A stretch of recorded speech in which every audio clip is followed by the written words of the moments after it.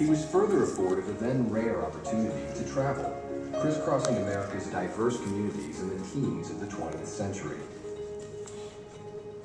At the age of 12, he entered the